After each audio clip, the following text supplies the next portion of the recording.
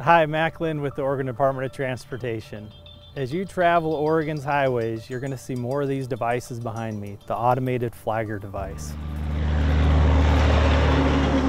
As we use technology to improve our safety, not only for you, the motorists, but also for those workers out doing the job every day. So as you approach one of these automated flagger devices, it's important to recognize it's just like a traffic signal. Follow the lights and know that we have an employee on site monitoring the system. So they're still in control of it and ensuring that it's safe to go through the work zone. Please don't go around these devices. It's just like if someone was standing there as a flagger with the stop go paddle.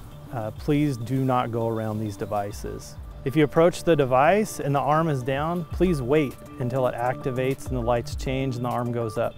We're using technology like these automated flagger devices to improve safety for our users of the system, you, the driver, but also for our employees. Things like the automated flagger device and all the things we do at the Oregon Department of Transportation are to ensure that everyone goes home safe at the end of the day, because that's what really matters.